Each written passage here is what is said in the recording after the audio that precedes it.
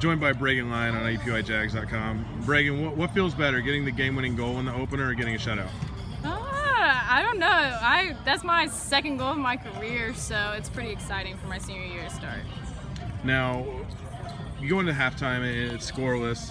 What do you guys talk about? What adjustments do you make going into the second half?